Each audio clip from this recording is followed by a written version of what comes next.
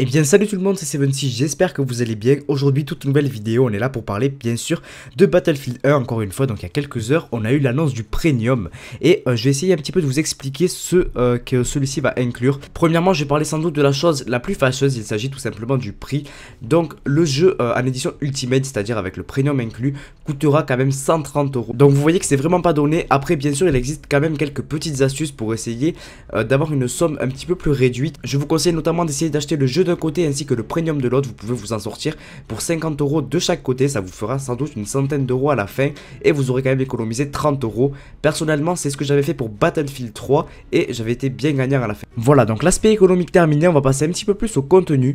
Donc, premièrement, vous aurez accès à 4 DLC. Le premier sortira en mars 2017 et inclura tout simplement l'armée française. Donc, c'est vrai que ça nous fait un petit peu plaisir. L'armée française sera quand même représentée dans le jeu, mais il faut savoir tout simplement que cette armée devait être normalement inclue dans le jeu de base et je trouve que c'est un petit peu donc malsain de la faire passer dans un DLC alors qu'ils auraient tout simplement pu faire peut-être un petit patch gratuit qui aurait fait de mal à personne.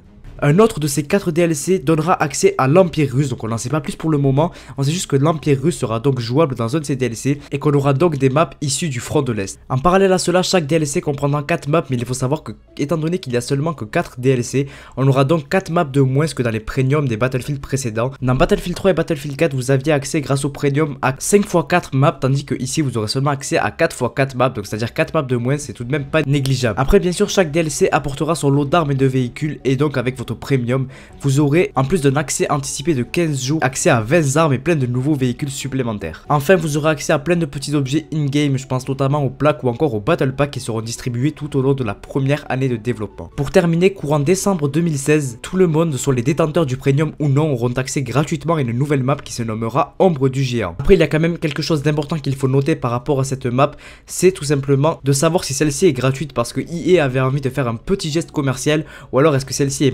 à la sortie du jeu et alors elle sera rajoutée tout simplement en décembre. Voilà, j'espère que cette vidéo vous a plu les gars, si c'est le cas comme d'habitude, n'hésitez surtout pas à liker, ça me ferait super plaisir. N'hésitez pas non plus à aller vous inscrire à la bêta, celle-ci sera ouverte le 31 août et permettra à tout le monde d'essayer le jeu. Et je vous dis à bientôt pour de prochaines vidéos, ciao